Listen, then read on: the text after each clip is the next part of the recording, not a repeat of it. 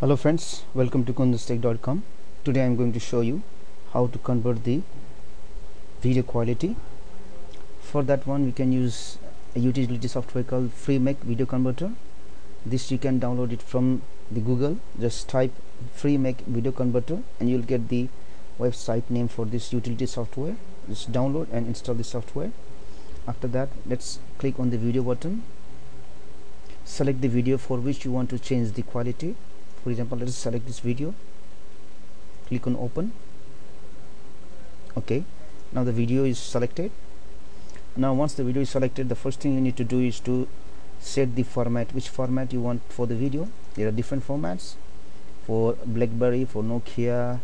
If you want to convert it uh, if you want to use it for youtube.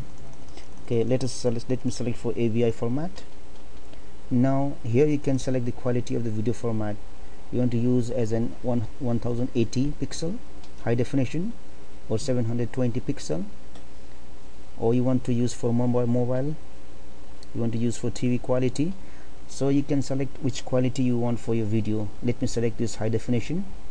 Then I'll just click on convert and you can see the video will be saved in desktop with the name intro. Let me click on convert button.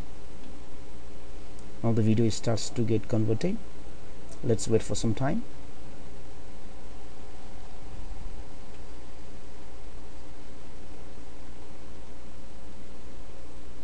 So we got a message that the conversion was completed success successfully. Click on ok.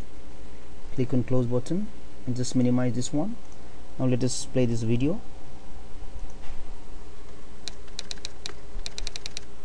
So this is the video so in this way you can change the quality of video format to different qualities as you want. Thanks for watching